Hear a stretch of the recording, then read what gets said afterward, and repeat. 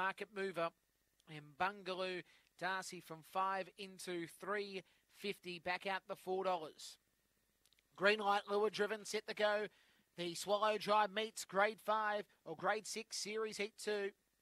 Racing started well here. Crusoe Kid on the outside. Spring Spirit. Good speed from Captain Bender. Got shuffled back as Bungaloo Darcy goes the third. And back at the tail is Late Mail. Down the side, Spring Spirit leads the way by about two and a half lengths. Crusoe Kid in second. Bungaloo Darcy wide is Captain Bender. Around the turn, it still leads here. Spring Spirit and will jump clear. Leads by two and wins the prize. Second spot will go to Caruso Kid, followed next by Bungalow Darcy alongside Captain Bender. Late Mail, 23 and 2 the time.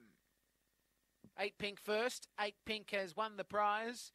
Spring Spirit, trained by Tracy Price. And it is a fawn dog from Spring Gun out of Nitnoy. Second spot going to the five yellow Crusoe Kid, trained by Michael Neal.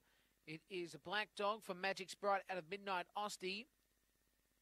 And third spot, for blue in Bungalow Darcy for John Little, a black dog, Fabregas out of Springvale, Alyssa.